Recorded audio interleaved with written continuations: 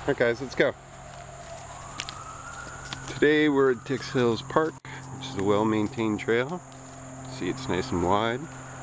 Um, trick to this park is always keeping the fence line, see, on your right-hand side. And let's go guys.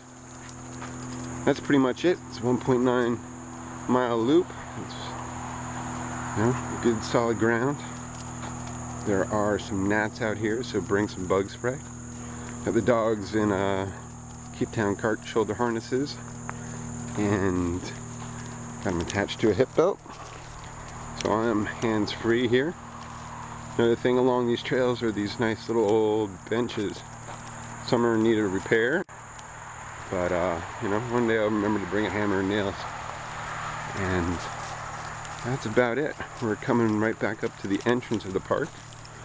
And I suggest parking just past the little golf course area. There's a big parking lot right on your right. It's the first parking lot.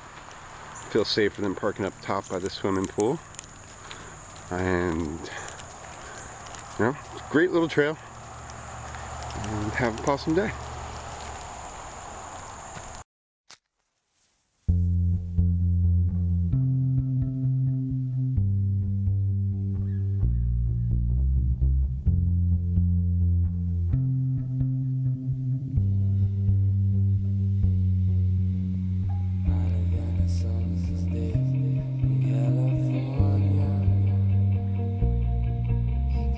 dancing like the sun.